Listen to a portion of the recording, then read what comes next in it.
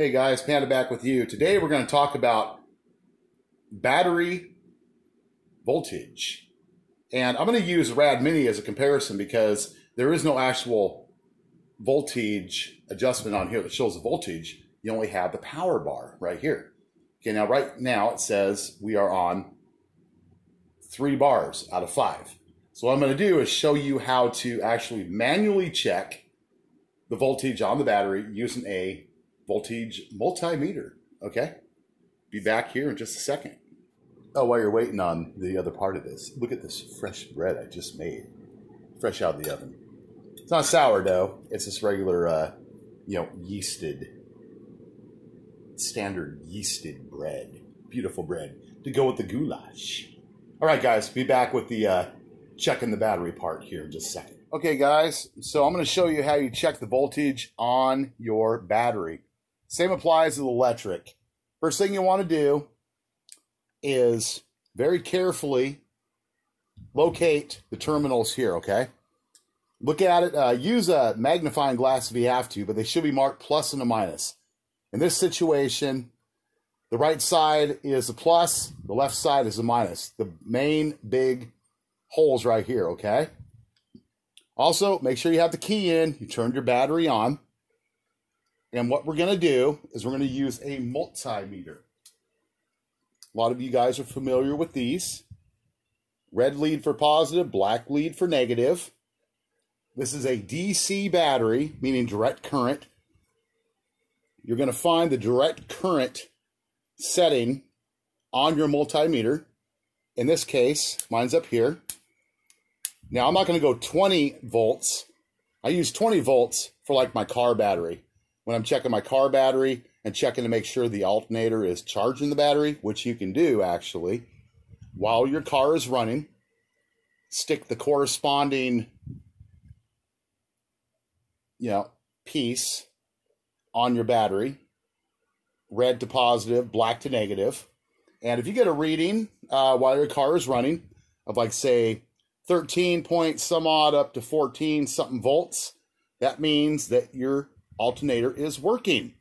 But this is a 48 volt battery. So we're going to come down to the next highest number, 200. Okay. So what we're going to do, now keep in mind, the uh, bike said it had three bars. So very carefully, I'm going to insert these into both prongs, both holes on the battery, okay? And it's going to show us what our voltage is. Don't force them. I'm just holding it steady. Now you can see right here, right? Got roughly 47 volts. Now, the battery fully charged is going to be about 54.6. This is also another way to check if your meter readout is right on your bike and if maybe you're having some problems with your charger. So, the bike readout showed three bars. Well, that's not really accurate because the bike only has five bars. And at 47 volts, you are pretty much down fifty percent at least. Okay, I mean, give or take, you know, it's close enough, but do not base your travel ability on that little power bar, you know, that you wait to come down you could end up stranded if you do that. So this is a very easy way how you check your battery. And while you're at it, you know, check the terminals, be very careful about everything. Check for any damage, any debris, any rust, any moisture, clean everything up. If need be, uh, get yourself some contact cleaner, you know, designed for wire connectors and ends and clean things up. But if you're being careful, you shouldn't have to really worry about it.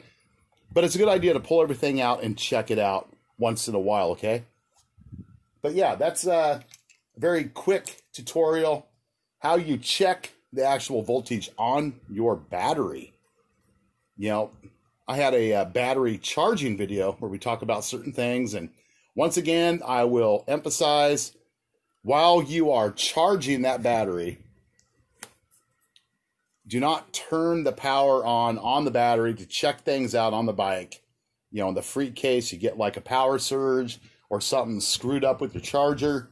You don't want all that juice and that extra whatever might happen going to all the other components on the bike.